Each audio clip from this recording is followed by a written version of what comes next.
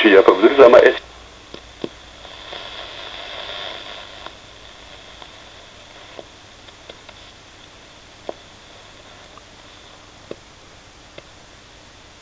insanlarımızın sokağa dökülmesi için Almanya'da